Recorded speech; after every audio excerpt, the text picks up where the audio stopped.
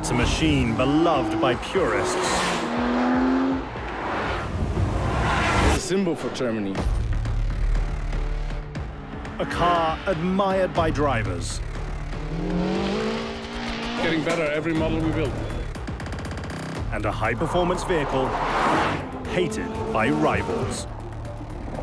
When you're number one, you got a target on your back. The Porsche 911, perhaps the most iconic sports car ever made. You're not working for Patriots, you work here because the very special products we produce after half a century of success, it's now imprisoned by its past. Whenever there's a new 911 generation, there's a debate if this car is still a 911. Now, the newest version steps away from tradition and undergoes radical change, adding turbochargers to the full lineup for the very first time. The 911 represents uh, the brand purity. If you screw up your iconic vehicle, your identifier, it challenges the whole image of your brand. The result is a sports car that looks like a 911. But does it act like one?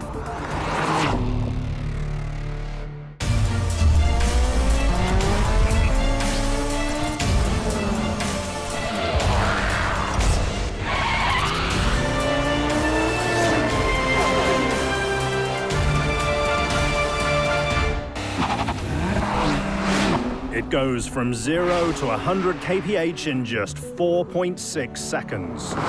It's a top speed of 307 kilometers per hour and starts at just over 82,000 euros. This is the all-new Porsche 911 Carrera S. A machine that blends racetrack performance with sporty luxury and is born into one of the most illustrious car families in the world. The 911 is, is one of the longest running names in the sports car scene. The brand it would not exist if it weren't for this car. The machine garners worldwide attention, but it actually comes to life in a tiny suburb located just outside of Stuttgart, Germany. The Porsche factory is located in Zuffenhausen, which is a suburb of Stuttgart. Even though the town is small, the competition here is fierce. If you live in Stuttgart, you either work for Mercedes-Benz or Porsche. Both are great, but we in Zuffenhausen do it just a little bit better. Zuffenhausen is one of the most important automotive locations on the planet. This is both the ancestral and the current home of the 911.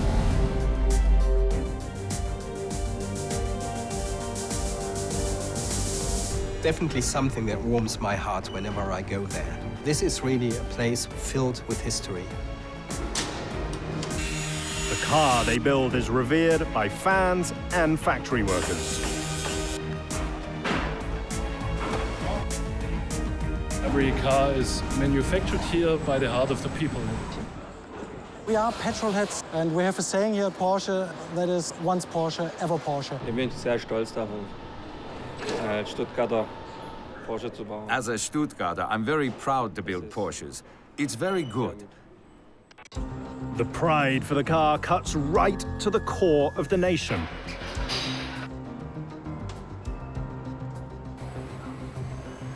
The Porsche 911 is definitely one of Germany's uh, car icons, and most people know this coming from Germany. The national honor is apparent on the factory floor, where newly painted bodies enter every three and a half minutes.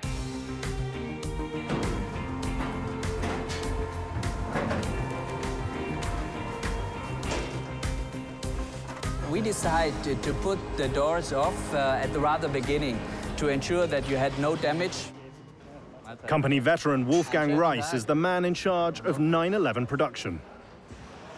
It's a, a combination of, of handicraft uh, knowledge because um, the know-how comes from doing. Yeah, you must work with the cars, you must uh, build them up yeah, from body in white, from paint shop onwards and to the final assembly line where we are right now. Then it's time to stamp the unique identification number.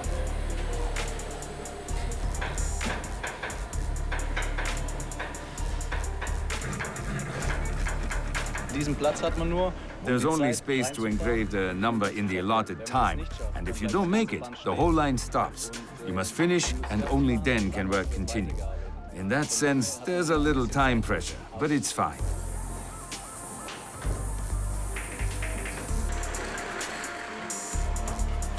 Next, they wire the machine.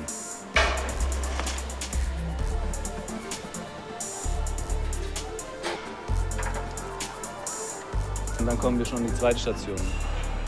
Now we're already at station two. This is where we install the wiring harness.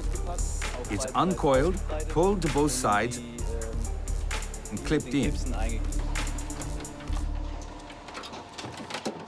The size of the harness is a reflection of a core belief. At Porsche, every button does just one job. Just as every worker aims to do one task perfectly. Yeah, there are a lot of wires in the car. We got um, yeah, a couple of kilometers of wiring in all, in all the car. We just want to put out 100% quality. On this hallowed floor, the goal is not being flawless. It's something far greater. It's not perfect, it's really perfect. The mission to move beyond perfection comes from a one-of-a-kind sports car culture.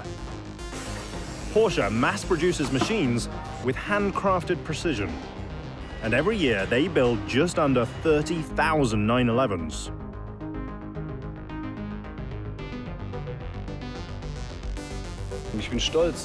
I'm proud to work for this company. There's a feeling of pride because it's still a traditional family company in my eyes. And there are not too many of those left in Germany. To me, it's the best company in the world.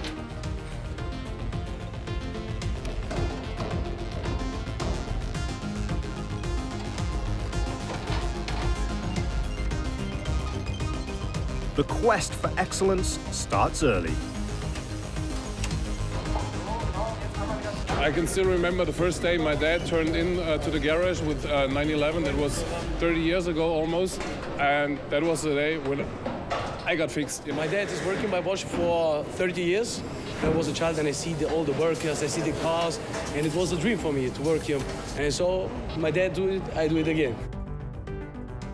Workers aren't the only ones wowed. The line is almost as fast as the car itself. We have 118 stations, yeah, and takt time right now about 3.7 minutes. We are talking about a lot of complexity and uh, derivatives on this one assembly line. The amount of choice is overwhelming. They build 16 different variants of the 911, but it certainly didn't start out that way. The tale begins in 1875 with the birth of Ferdinand Porsche. In 1931, he started up his own construction office. Ferdinand's engineering company quickly develops into a powerhouse. He wanted to offer his knowledge to the whole automobile industry. The construction office became the nucleus of the European automobile scene. He was working on race cars, on compact cars, even on, on little tractors. So it was really a big spectrum of, of technologies. In ma many cases, he was the first in the, in the game. In 1898, he built the first electric car. In 1900, the first hybrid car. He designed the Volkswagen Beetle, which was a kind of an important car in history.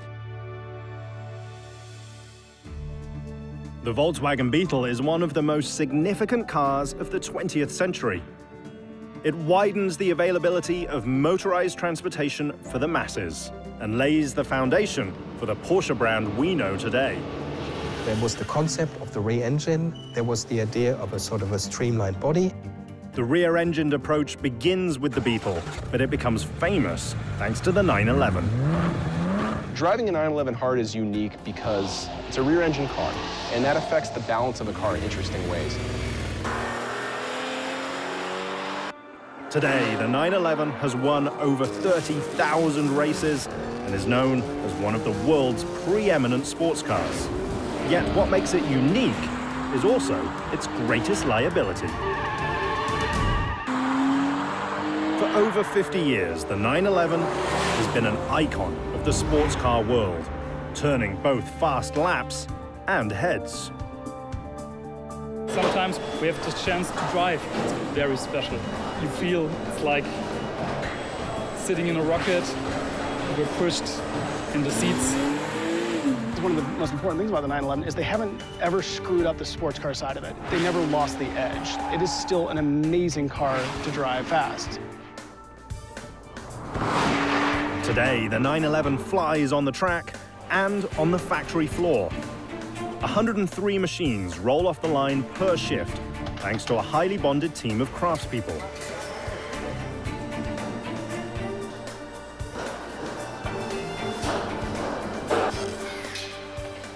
You are with the people there more than with your family. This is my friends. And after we can go in a bar and drink a beer. When a shift ends, some workers might enjoy a beverage together. But at the windshield preparation station, the goal is to actually keep liquid out. This station we put on the rubber sealing for the windscreen. I've gotta be very careful to put the sealing in here that nothing breaks or get loose. Everything is running really smooth like a, a gearbox, you know?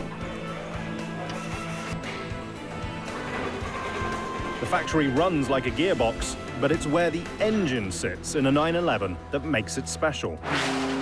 That weight balance makes this car drive in a totally unique way.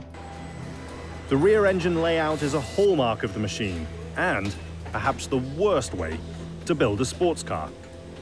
A Porsche engineer, if you get him drunk enough, will tell you that putting the engine out behind the rear axle is a terrible place from an engineering perspective. You have the heaviest components in the car behind the rear axle. And if you think of how a pendulum works, if you think about what happens to the car when it starts to rotate, where that weight wants to take the rear end of the car. Building a car with the heaviest component in the back creates a unique driving experience, thanks to physics. The 911 showcases exactly how the concepts of understeer and oversteer work. Understeer is when you see what you're going to hit, and oversteer is when you don't. Understeer is when the front wheels lose grip, and you got the steering wheel turned and the car's not turning. It's going to go straight right into whatever is in front of you. Oversteer is when the back end of the car comes loose and the car wants to spin out on you. Staying in control is partly about the feel and partly about the information you see. Much of that data is relayed on the sport-orientated dashboard. The dashboard assembly is running in the same takt time like the main assembly line. There's no buffer between. The build starts in another building on the Zuffenhausen campus, where artisan leatherworkers bring fresh cowhides to an advanced layout table. They scan the hide for defects and arrange digital patterns that maximize the leather. Then they cut the shapes out using an air blade. The raw panels are sent to a parts supermarket, where another craftsperson creates an interior kit. Next, one of the 280 specialized craftspeople sews the interior leather panels together. Finally, the dashboard is glued using a massive press. With the 911, it kind of depends on how you define luxury. You're getting nice leather, certainly nice materials, but these aren't luxury cars. These aren't the cars that ride with total supple smoothness. You feel the road. It all comes down to where your expectations of the cars sit. Next to the final assembly line, workers install the headlight switch, the steering column, infotainment system, iconic gauge cluster with the tachometer front and center, and finally, the idiosyncratic left-handed starter key. They still have the key on the left, and it still comes to life with a character that's surely it's synthetic, but still sounds different than any other sports car. Placing the key on the left side of the instrument panel is a holdover from Grand Prix racing in the 50s. Back then, drivers dashed to their cars at the start of a race and fired up the engine with their left hand in order to keep the right hand free for the shifter knob.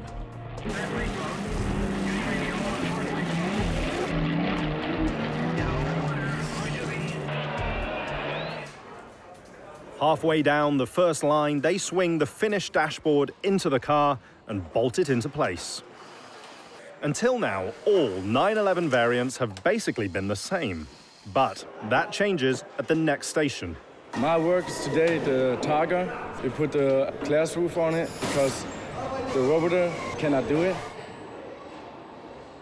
When I adjusted tolerance from about one millimeter to um, 0.5 millimeter, so it has to be accurate. Then it's time for the factory's only robot to join the party. The robot is a special one, yeah. Uh, he's responsible to put in the screens in the right position and to fix it uh, for several seconds with the right pressure. And he's precise really when he put on the clue on the screen, that's like perfect.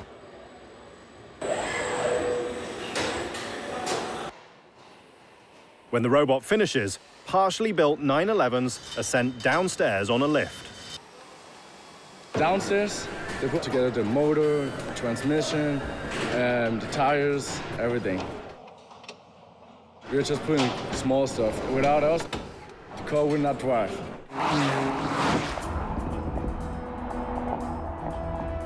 Today, 911s are known as legendary high-performance driving machines, thanks in large part to Ferdinand Porsche's son, Ferry. Ferry Porsche, he stepped into the company as an intern in 1931. He didn't went to university. He was learning by doing, and he had, to, he had the best teachers you could imagine because the construction offices was a team of the best car guys you could find in Europe. Ferry takes control of the engineering business in 1948.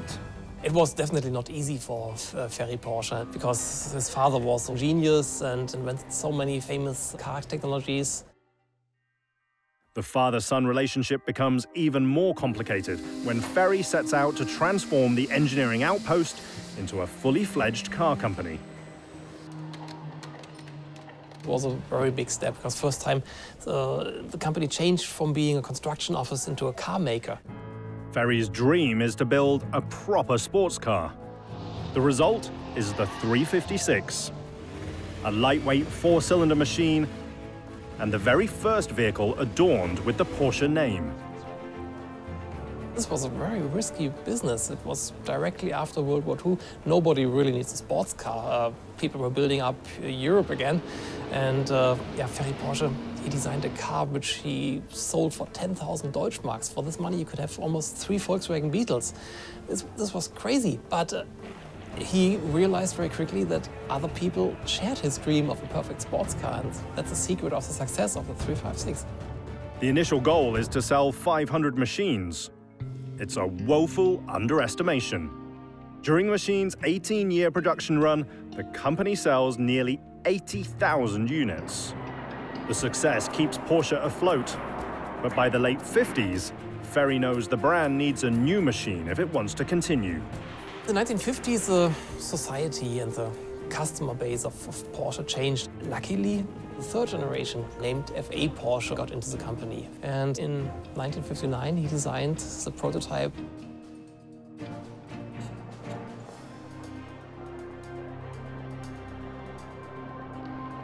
Initially, the machine is called the 901, and when it debuts at the 1963 Frankfurt Auto Show, it catches everyone's eye, including French automaker Peugeot. Peugeot claimed to have the legal rights for all car names with three figures and a zero in the middle. They still use the system today. Ferry Porsche took a very pragmatic solution. The letters, they were already produced, so they had the 9, they had the 0 and the 1. And so at the end, they just exchanged the 0 by another 1, and the car became the 911. The renamed 911 develops an almost fanatical following amongst serious driving enthusiasts.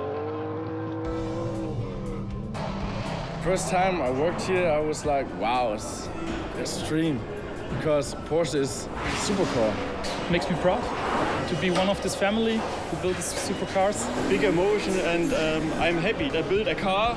It's this car all over the world. Part of the machine's appeal comes from its iconic shape. If you ask a little boy to draw a sports car, in most cases the result will look like a Porsche 911. Porsche has managed was to keep the basic ingredients but turn it into a car that looks modern, but it still maintains its character. The design of the 911 is something that's been carefully massaged throughout the decades. It's they've honed continually over the years.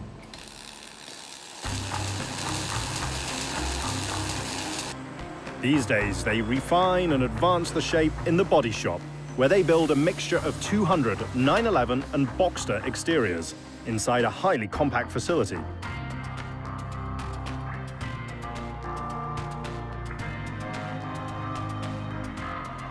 It's hard to see, but behind me the robots are assembling the front end, the back end and the middle.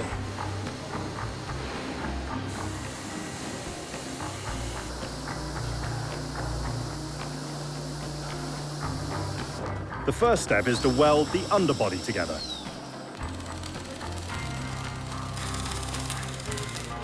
They add the front and rear crash structures. Then the rough-looking chassis is sent upstairs to be finished. The stations move in a three and a half minute takt time.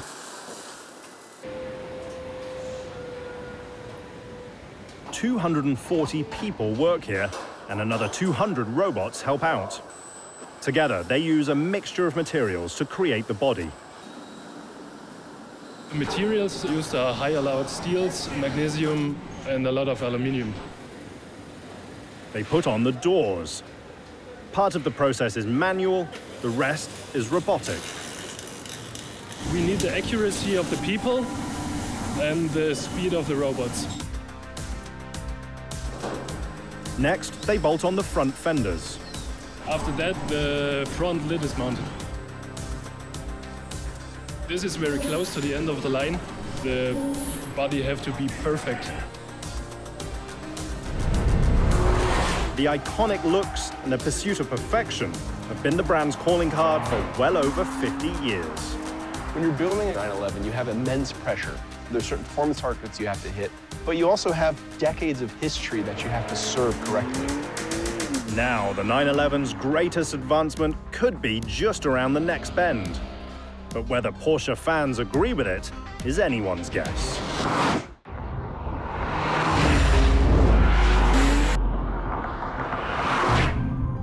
For over half a century, the 911 has defined the sports car world, thanks to its idiosyncratic traits, unique powertrain layout, and high-performance history they found something that worked for them, and it was unique, different car that people really loved. The affection rockets the tiny manufacturer to fame. It has defined the brand. The 911 is Porsche, Porsche is the 911. However, the more success, the more typecast the car becomes.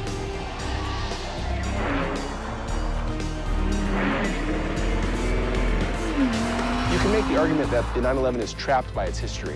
By the late 70s, the brand is determined to move on. They've tried over the years to replace it with other cars that are better in, in some way to wean people off of the 911. Since engineers can't modernize the car, they decide to supplant it with a new machine called the 928. The 928 was supposed to replace the 911. It was a V8 front engine sports car luxury super cruiser. You tear down the Autobahn a million miles an hour, and nobody bought it. In the early 80s, the brand tries again, this time introducing the 944, a lower-priced four-cylinder front-engine car. There was a lot of years, especially like in the 80s, when they really wanted to do something else. They really wanted to build a different car. The desire to move on culminates in a do-or-die decision the 911 almost ended until there's a very famous boardroom meeting where uh, one of the executives writes 911 on the board and says, "This is what our brand is, and this is what will continue to be uh, a Porsche as you know for the end of time." The stay of execution keeps the 911 alive, but it doesn't stop technology from advancing. As decades go on, we find ways to improve cars, sometimes in a way that purists don't like. To remain at the forefront, the 911 has to evolve, even if its customers don't like it. There's an old quote that you know, they'll tell you in business school that the customer doesn't know what they want until you tell them. Engineers decide the only option is to move on from the car's traditional air-cooled engine and to switch to a water-cooled power plant. The Porsche faithful freak out. The biggest controversy in the history of Porsche was going from air-cooled engines to water-cooled engines. We were all doubting whether this was the right way to go. And out of the sudden, we found ourselves in a crisis. We take away from people what they have been loving and replace it with something that is a different animal. This is a point when there wasn't another car on the planet that was still running an air-cooled engine. When the first water-cooled engine was introduced in 1997, they said that's the end of the brand. The water-cooled car shocks fans. Yet it also becomes the best-selling 911 ever up to that point. If you want to get into trouble, stand still. If you want to avoid that, you have to move ahead. Today, the brand faces a similar challenge thanks to a similar change. Starting in 2016, all 911s, regardless of trim, are turbocharged. Now you're saying we're going to add this turbo to it, and the turbocharger, it changes the characteristics of an engine. The significant of the change is when they went from air-cooled to water-cooled because it significantly changes the character of the engine, which is so vital to the people who love Porsche 911s. The man who carries the burden is Chief Engineer August Achleitner. When we develop a new 911, we have a look into the past, but also we have a look in the future. The biggest detail is a completely new powertrain. The completely new powertrain is uh, like a transplantation of the heart of the uh, car. This step uh, from the naturally aspirated engine to the turbocharged engine is a bigger step, in my opinion, than years ago, the step from the air-cooled engine to the water-cooled engine. The turbochargers deliver more power and better fuel economy, Yet the danger is they can also add turbo lag. This was a challenge to, to, to have a turbocharged engine, but not to feel you have a turbocharged engine. So it was a challenge we had to take. The new turbocharged flat six engines are born one bolt at a time inside another building on the Zuffenhausen campus. This assembly line builds all B motors for the sports cars.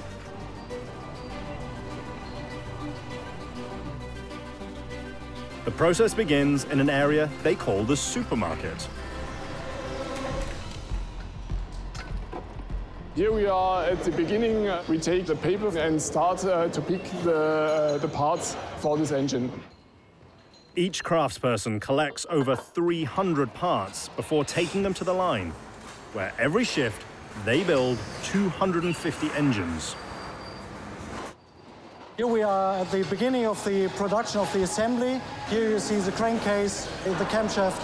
We see the connecting rods uh, with these pistons, the, the, basic of the engine. We produce mainly with, um, with automatic stations because we need a precise process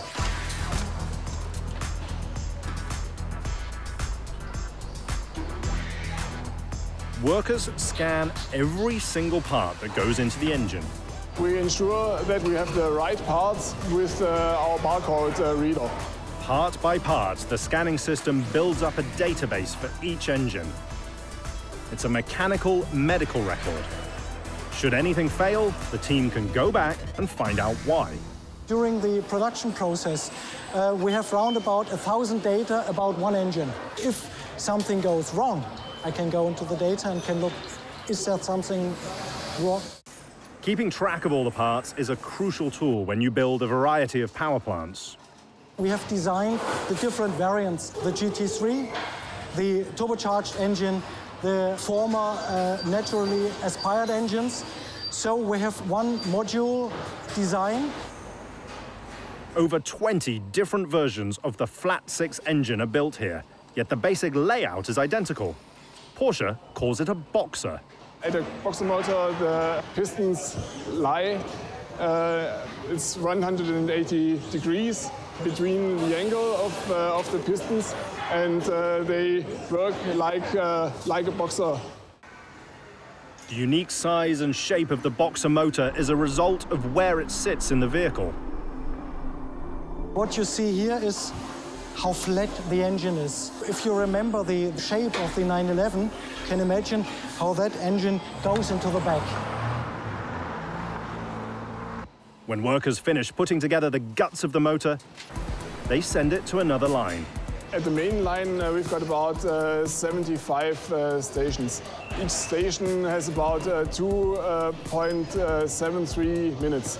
130 craftspeople work on this part of the line alongside a handful of high-tech robots. We've got automatic stations with robots for things we have to do um, very often. But uh, a lot of things uh, we have to do in, the, in, our assembly line are very complicated and uh, complex, and there we let our workers do it. So here we are at uh, the point uh, where the cylinder head uh, meets the, the main engine. At the end of the main line, the engines make a U-turn and flip around. What you see is it's a mainly man-driven assembling part. New engines are now ready for the most important station. This is where the controversial turbochargers are installed. This is a turbocharger. This is, this is special. This is the new design, the new part of our engine. Porsche's radical decision to put turbochargers on every engine in the 911 lineup breaks with tradition. But it's not the first time they've turbocharged the car. That honor goes to a machine codenamed the 930. In 1973, Porsche presented the very first 911 Turbo, and this was a big, big surprise for the automobile world because it was the first time that there was a turbocharged engine uh, installed in a production car which was actually really working. The high-powered, hot-rodded engine's introduction coincides with a worldwide oil crisis. In Germany, it was not allowed to drive on Sundays. They introduced speed limits on the autobahns. Everybody actually went down with engine outputs and power figures. And Porsche had the guts to say, we've been uh, very successful in racing. Like, we know what we do here.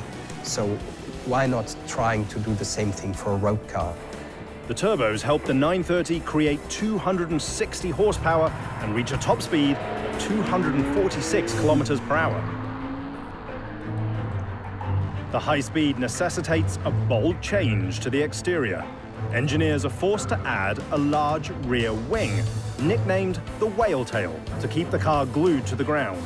They knew they need downforce at the rear, which the original shape of the 911 never had. The whale tail isn't the only catchy name for the car. The 930 had a nickname, and not a good one. They, it was known as the Widowmaker. Those things were like light switches. Nothing's happening, nothing's happening, and all of a sudden, they come on, a whole lot of people who didn't know what they were getting into, they go spinning off into a tree, Today's turbochargers don't spin you off the road, but they do spin up to 190,000 revolutions a minute. Yet it only takes a craftsperson seconds to install them. We need the knowledge of our people, and that is the next thing that is different, I think, here at Porsche.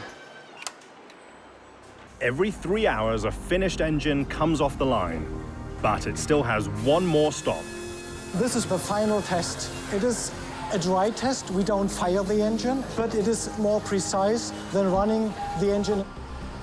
We check 500 parameters here. And if one parameter is not in the range, the engine doesn't go on uh, with the assembling process. When an engine passes its test, it's time to send it across the street to the final assembly hall where each new power plant will meet its matching body right in sequence and just in time, thanks to an American idea and a Japanese trick.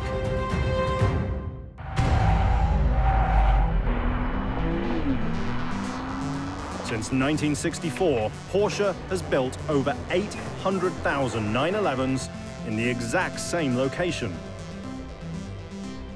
Zuffenhausen, it's the most modern facility you could imagine.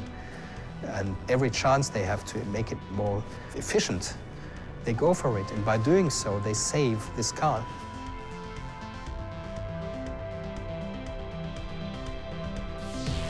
Today, they manufacture nearly 16 different versions of the car.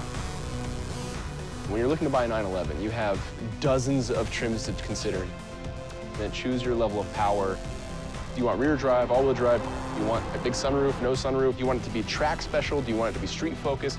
What do you want the car to do? You think about the, the 911, from your base car up to your top shelf 911, that's a $80,000, $90,000 price swing from a standard six-cylinder turbocharged basic right up to a 911 turbo with 100 and plus more horsepower, 150 more horsepower.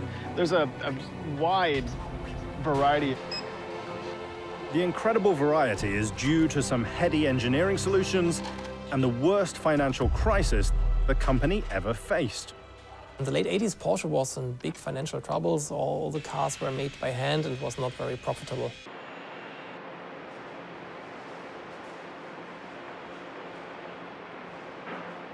Just as the car has to advance to stay relevant, the downturn forces the factory to modernize. We had a tremendous loss at that time, and therefore we changed everything in our manufacturing world. The company's salvation literally lies on the other side of the world. In the early 90s, inspired by the automobile industry in Japan, we introduced processes of lean production,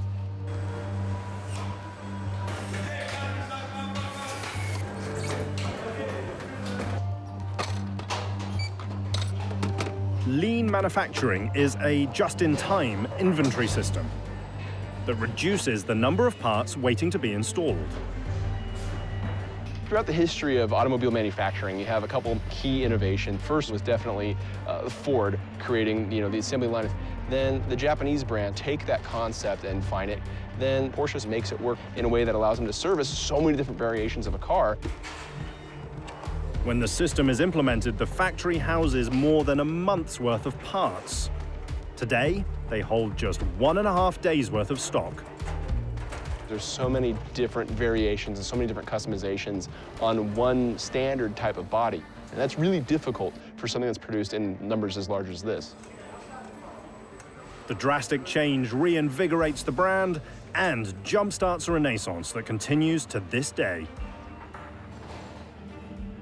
Today, Porsche is not only well known for its cars, it's also well known for its, its processes, for its production methods. More than 560 different suppliers deliver components to the Zuffenhausen factory, often just hours before they're needed on the line. Today, the, the production is extremely process-orientated. All the parts come just in time. It's extremely well managed.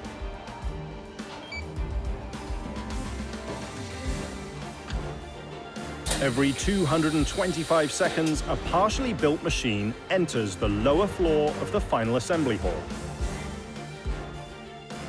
A giant C-hook raises and lowers the car so that workers can access every nook and cranny underneath. They install sound deadening material, oil, fuel and water lines,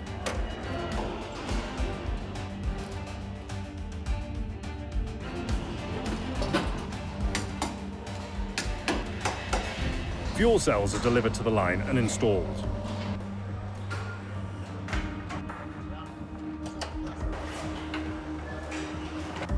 The intercoolers are bolted in place.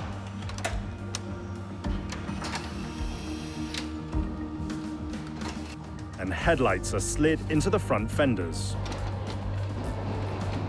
Not so easy, yes. The headlight has many things you can uh, chip the paint, yes. In another part of the factory, workers begin building up the drivetrain. Brembo disc brakes arrive from a sub-supplier.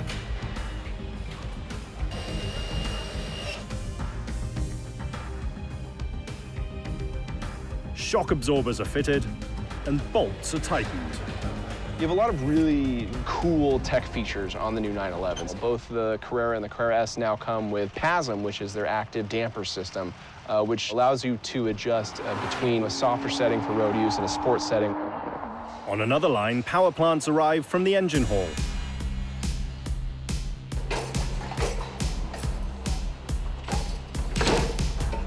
We fixed the engine and the gearbox together, mount the exhaust system, The manual comes standard, but you also have a, a dual clutch transmission that allows you to get extremely fast upshifts, and it's certainly the fastest accelerating variant of any 911.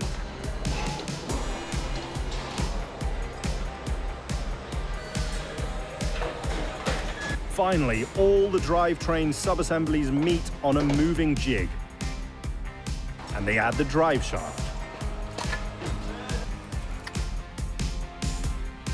We take the chassis and the brakes and the engine, all the parts are come here in this uh, part together. It's simple, but uh, it's a lot of parts, and we put it all together. Yeah, I'm very proud to work in uh, this part of uh, Porsche. Yeah. A new 911 is ready for its famed flat six engine. The engine and goes up to the rest of the car. It's the most challenging type. You have to look that all fits in. So this special thing you have. The marriage is one of the heart of each uh, plant. Yeah. There we have uh, three big uh, logistic issues. One is the car, of course, which is pre-assembled at that time. The other one is the powertrain, the engine and transmission, which is linked. And the third logistic part is uh, the axles, the front and the rear axle. The nuptials happen fast thanks to some high-tech help. It's more than 50 uh, bolts. And some bolts are done uh, automatically. Yeah. And very important is to ensure that each screw has the right torque, yeah, and there the response for the people working in that uh, area gets from the screen, it's uh, green or red.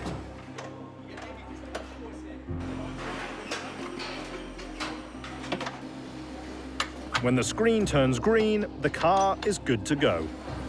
Even though the tools are modern, it's the fellowship that gets the job done. Without teamwork, you can do uh, nothing here on this part. Yeah. After the engine is fitted, they install hoses that help the power plant breathe.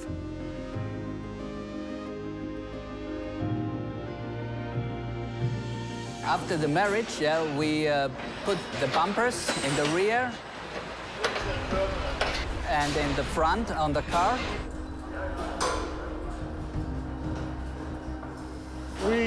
Put uh, the air filter on the engine. Also put the spoiler on the on the car.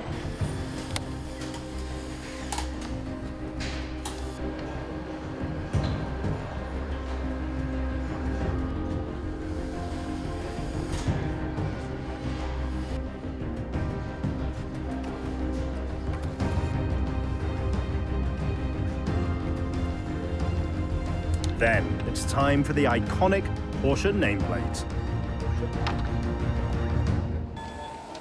And some fluids. We do plugs from the, uh, the engine and we fill the fuels. As the car moves down the line, parts continue to arrive just in time and just in sequence. This is the, we call it Bertha. He brings the new parts to the worker on the right place. This uh, part comes on this Bertha for, uh, for this car. Bertha is a high-tech way to ensure parts arrive on schedule. But it's the old-timers who safeguard the Porsche way. The older men teach me how I must work. And I teach the younger how they must work. I'm very proud. I'm, it's, a, it's a good feeling, very good feeling. The machine is almost ready to rumble, but first it needs a set of wheels. It's a very special uh, manufacturing uh, station because we uh, put on the tire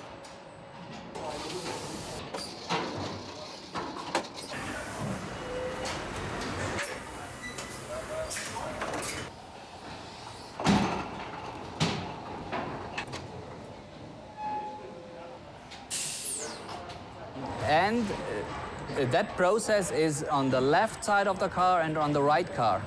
And we had a lot of different wheels.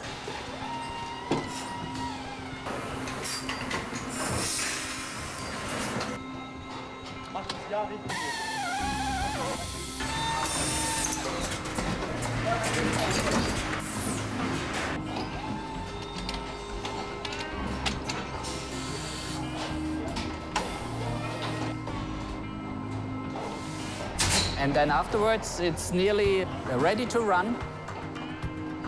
At this point, the majority of the mechanical parts have been installed, so the team turns its attention to the luxury interior. They install the center console,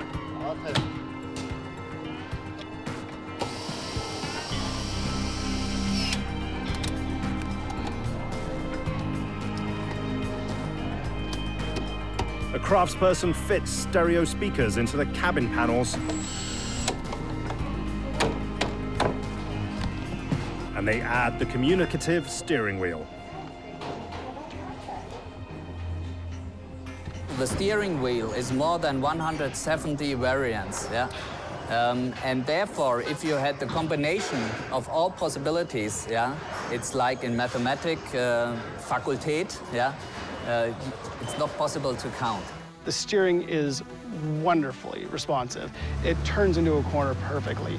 The car's very well balanced. They've been working for years to, to sort out the, the chassis of this car to mitigate the fact that the engine's in the back and make it handle as neutrally as possible. You don't have to be an expert anymore to drive a 911.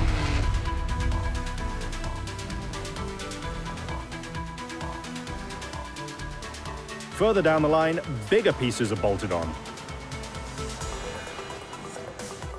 On this area, we built the, um, the seats, the doors, and we, we make instruction of the doors and on the windows, the back seats, and yes, it's the magic, magic job here.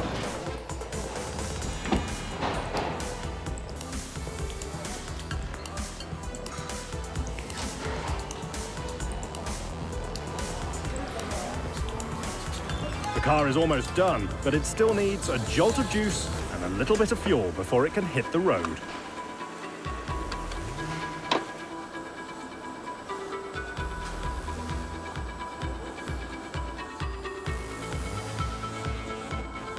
Finally, after 30 hours, a brand new 911 is ready to hit the track. The 911's always been a, a, special car because it's the one that doesn't make any sense, right? They put the engine in the back, and it's this little, you know, funny bug-shaped car. But from the start, it wasn't just a, a historical oddity. It was always really fun to drive.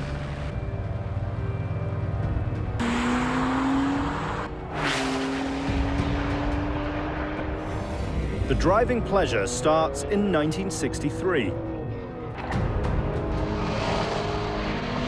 And it continues today, thanks to a dedicated staff of engineers who repeatedly have fought off physics to help the car advance. History and, and technology, they're sometimes at odds, and that's how the 911 can feel limited by its history. It's probably the hardest job in the automotive world is designing a new 911 because it has to look like a 911, but it also has to look new. And no matter what you do, everyone's gonna be mad at you. On the other hand, it's kind of a good problem to have, right? Your, your customers love your product so much that they want the, the newest and greatest, you know, version of it.